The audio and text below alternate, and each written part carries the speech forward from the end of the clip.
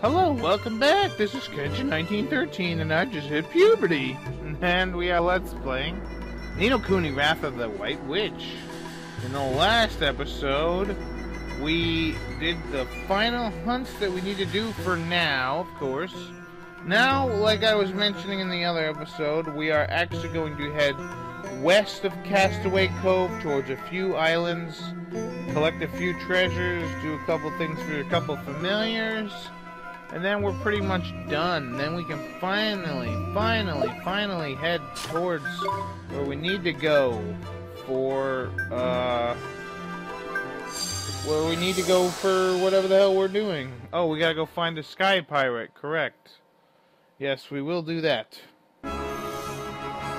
So, Castaway Cove is over here, then we're gonna head west. There's three islands that I'm going to check out. One of them is called Bungler's Bay, which is directly west. Then you see this big island in the middle there. We can't go there because we don't have a means of transportation. And then there's two other little islands, and when we get there, I'll tell you their names. But yeah, last episode we finished off some Coliseum series stuff, and then we fought some hunts things of that nature. So yeah, um, uh, I gotta fight you. No, well, let's fight. Hey, look at that! We got nans and crackpots.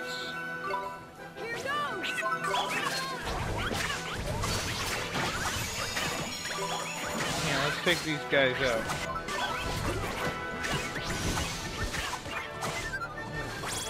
that was pretty easy. What can I say? Excuse me. Hmm. Ooh, yay. Hmm. you can metamorphosize, but too bad I'm not going to be using that until later. Alright, so welcome to Bungler's Bay. Oh yeah, I forgot I had this extra spot. Um, I guess I give you that. No one else has anything that I can. Nope. Nope. Nope. Nope. Nope. Nope. Okay. Alright, so over here there is really nothing I can do Except pick up a big babana, which is right over here. You can use those to, in your alchemy, to make like babana cakes or whatever, banana, babana ice cream or whatever. Anyways, you see that little island over there? That's a forest glade that we cannot get to right now. we got some new enemies. Snaptrap and Wincy and Sprout Sprite.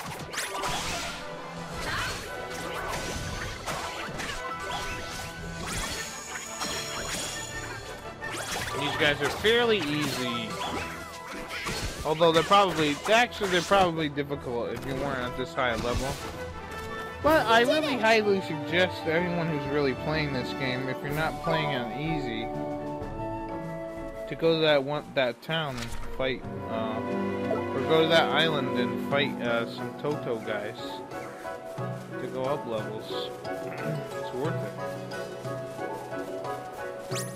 Because like I said before, there is a difficulty curve once you get the boat. It seems like everybody can kick your ass. and you can change that if you just fight for a little while over in that area. Maybe like an hour or two, and you can get up a bunch of levels and not have those guys boss and bully you around. So this is pretty much Bungler's Bay. I actually like the fact that they have different music for when you're on these islands, like rather than the main Ni no Kuni theme. Alright, so now we're going to head northwest. I'm not actually going to head to the island directly west. And then this big island coming up on our right here, I feel like a tour guide, uh, is an area that we cannot reach access yet by ship. Maybe there'll be a way to do it later, but not right now. This place is a very Dragon Quest VIII feel with the uh, island there. Because I remember there was one island you couldn't get to in Dragon Quest VIII without a special like route that you have to go to on a boat. I forget what the name of that town was. But eventually you found Empyrea, the god bird. Anyways, we're gonna head over to this uh, cave, or this uh, island over here, which is called Turtle Crag, which is directly north of us.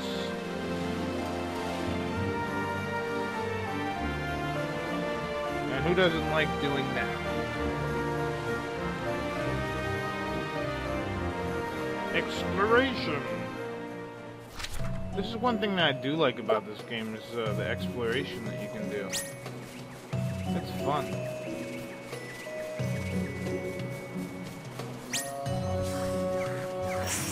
Anyways, let's uh, fight these sons of. Sh- oh, it's the same guys. Come on. Apparently, there's they're all the same on all these uh, different areas.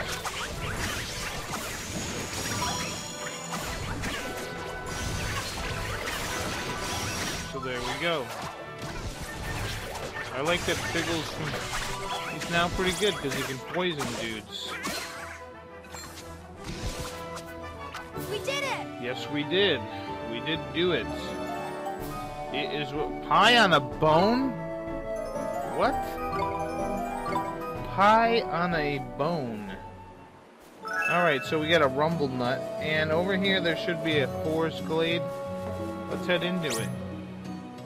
Now we're eventually gonna have to come back here because we gotta open up some chests, but I'm pretty sure there's some stuff we can get while we're here.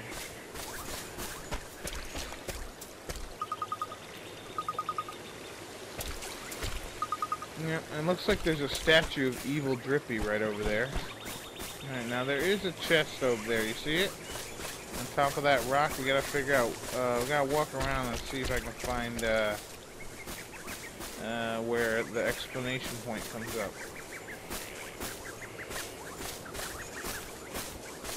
Hmm. Where are you? Where are you? Explanation point.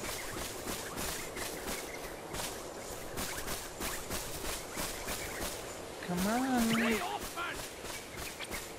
Hmm. Yeah, we can't get that treasure. Ooh, here we go. There we go. Ready? Yes. Swaine, get that shit. Yay! Ooh, a slowpoke gem. Yeah, so these gems, if I haven't mentioned, will actually, when you use them on a familiar, will have them learn that ability. So they'll learn slowpoke.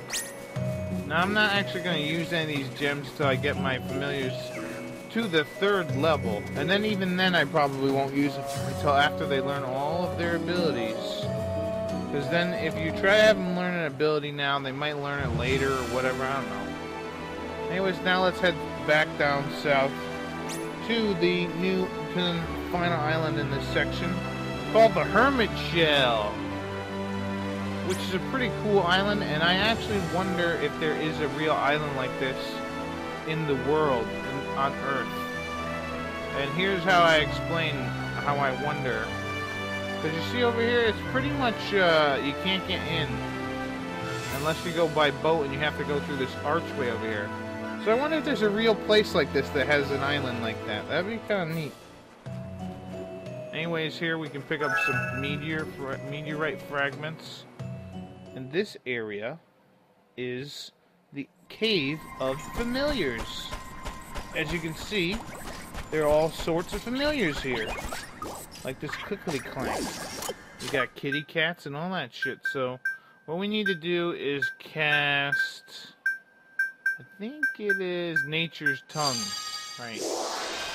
Now, if we cast that, uh, and we give this guy a sprocket, we will, uh, we will get an item.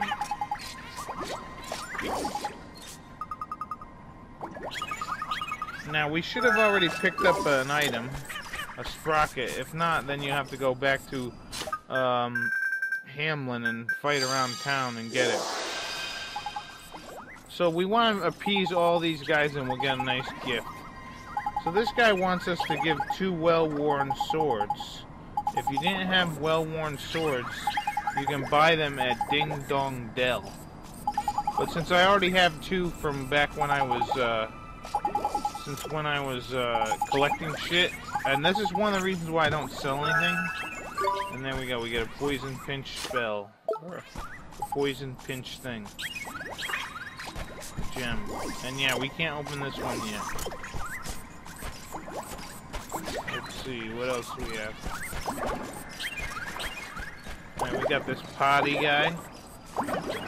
And what this potty guy wants is... He wants to talk to another potty guy, I think, or something. Something like that.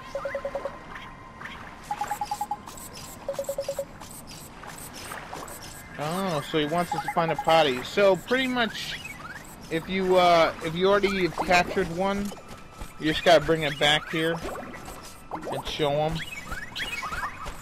To these naiads now.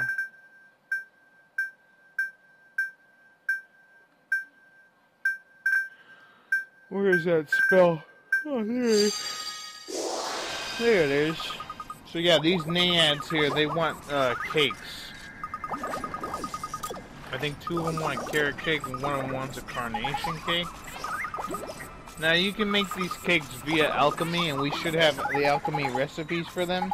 And then like let's say you don't have any of these cakes, you can always um, you can always uh, buy the ingredients at the at the item shop and then make them through alchemy. So we get a vial of Sage's Secret. So before talking to the Toto Toro, Toko, let's uh, talk to this guy and see what he wants. Uh, so he needs a mushroom buddy too. So that's what we need to do. We need to go back and get a couple of them. Get a couple mushroom people.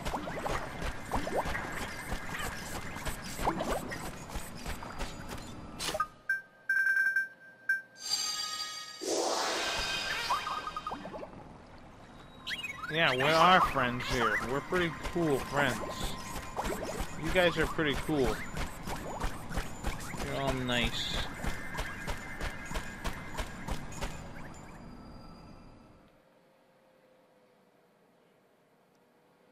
So I know I caught a potty, and I, I think I caught a mushroom guy. So what I want to do is warp back to probably Castaway Cove. Yeah, that seems to be the place where...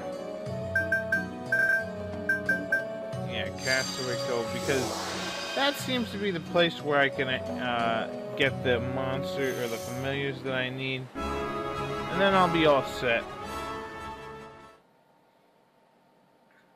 I know I have a potty. Let's see if I have a mushroom guy. And I think any potty guy and any mushroom guy will do. So let's, uh, oh, we need to drop off. Uh, no.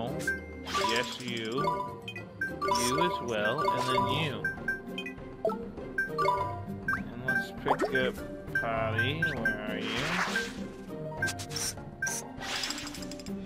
Where is he? Hmm I know I got one. There we go. And let's see, do I have a mushroom guy?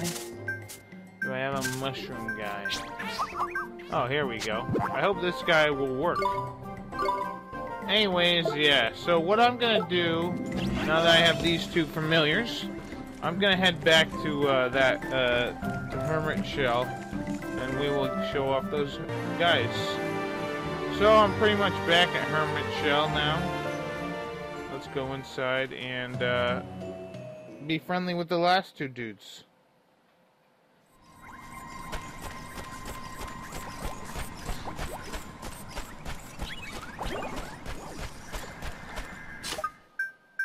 So, nature tongue. Yeah, we brought you a cat. A mushroom guy. Alright, five glow caps. Guess that's alright.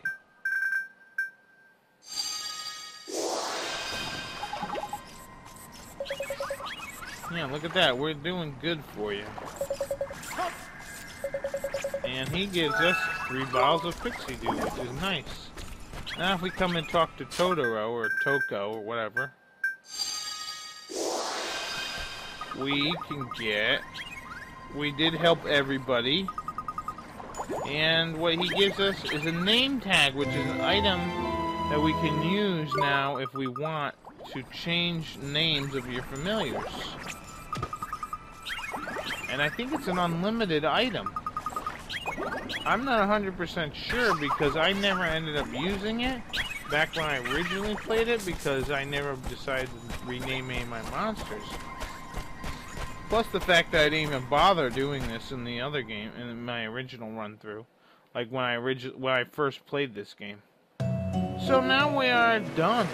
That's right, we're done with side quests. So let's head off to uh, Skull Mountain try to meet the air pirate or sky pirate or whatever. What kind of pirate is he, you're wondering? Well, he is a pirate and he is in the sky sometimes, so hence Sky Pirates. But yeah, let's talk about Sky Pirates, why don't we?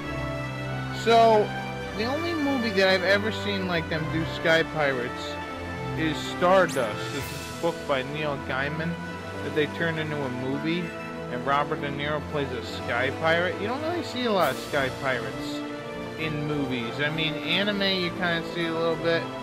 Um, maybe that Sky Captain of the World tomorrow. But I could just be biased because I hear the word sky and I assume that they are. But yeah, you never hear about like airships and shit being like flying in the sky and stuff in movies that. Alright, so there's Russet Potato Island where there's a glade, but I forgot to get it. I'll go back and do it later.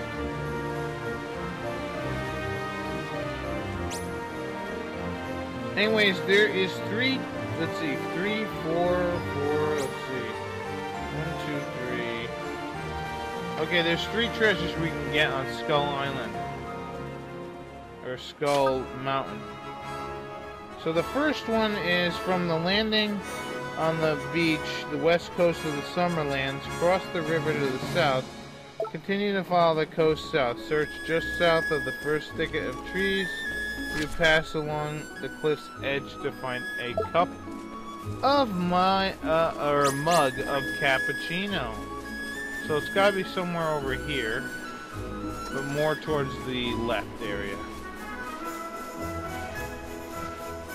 And yeah, eventually we're gonna get a spell that'll help us locate these goddamn things. But until then, we just have to do it the old-fashioned way by running around like an idiot. Even though I do have directions, I still run around like a moron. So it's somewhere around here. Thank God there's only three, otherwise I'd be screwed. So once again, from the landing on the beach on the west coast of the Summerlands, cross the river to the south, continue to follow the coast south, search your just south the first thicket of trees, you pass along the cliff edge to find a mug of cappuccino.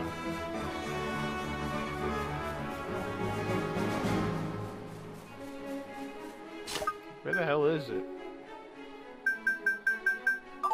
Yeah, this thing doesn't work out here. Hmm.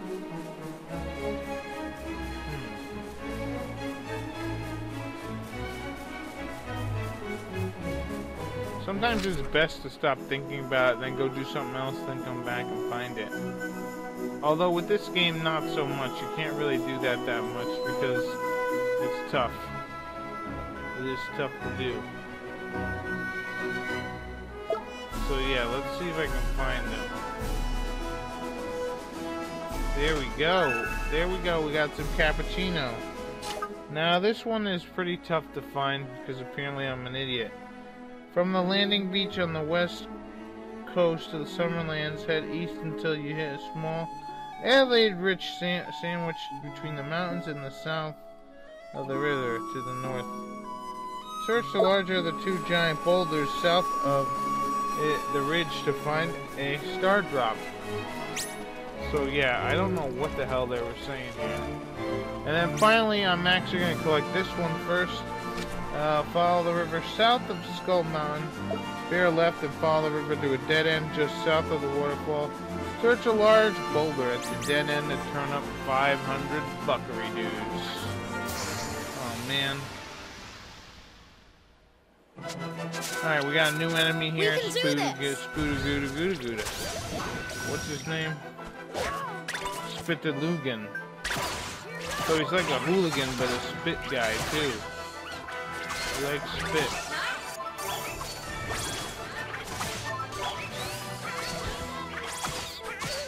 Yeah, I'm not gonna recruit the spouter guy because I already got him. Or whatever the hell the name of the enemy is.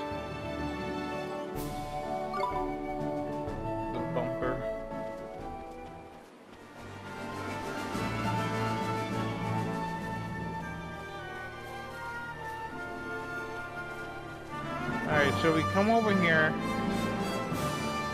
I thought that these rocks here were the big rocks that they were talking about, but they're apparently not. Hey, there we go. Run away. I like that. That gives me more opportunity to search what I, what I want. Anyways, here's the 500 gold. Alright, so from the landing on the beach to the west of the east coast of Summerlands, head east until you hit a small elevated ridge sandwiched between two mountains to the south and the river of the north. Search the larger of the two boulders, and blah blah blah.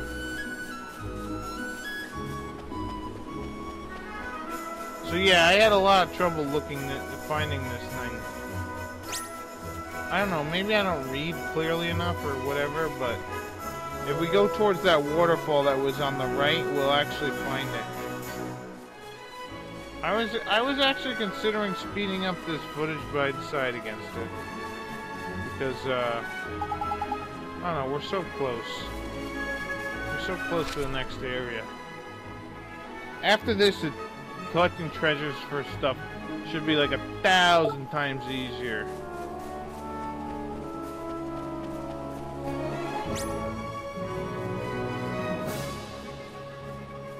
Alright. So yeah, I'm searching over here, but this is not where they were talking about. After reading it, it makes some more sense, but still. The uh, description of where to find this thing can be a little tricky. So let me pause it and figure out what the hell is going on. And uh, yeah, now we're back. So we're on the other side of the river that we were just at, and we're gonna go get this goddamn treasure. And then I'm gonna head up to Skull Mountain, because I'm sick and goddamn tired of looking for these goddamn... I'm sick and goddamn tired of these snakes in this video game. Or the treasures of the goddamn video game. So yeah, we gotta head... Not this way. Gotta head back down through the bridge there. I keep thinking that it's over here, but it's not. It's totally in the opposite direction. Oh, crud. Oh, we got a new enemy, Bighorn. Here we go. These guys are strong against physical attacks. Use your spells or your special moves on them.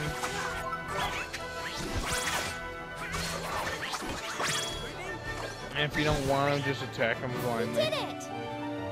Alright, so there we go.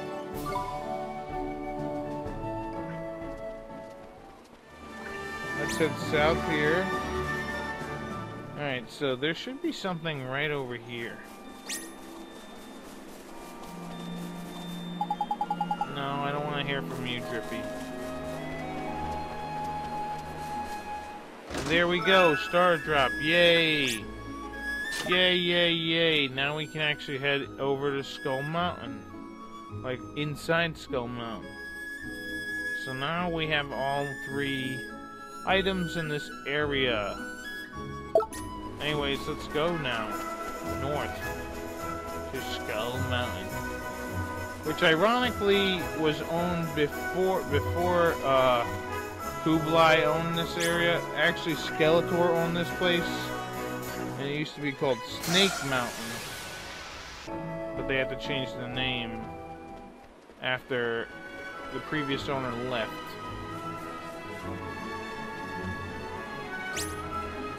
Alright, so here we are inside Snake Mountain. Skull Mountain? Whatever. Anyways, I am going to stop the video here. In the next episode, we will explore this area. This has been Kenshin1913. See you later. Bye-bye.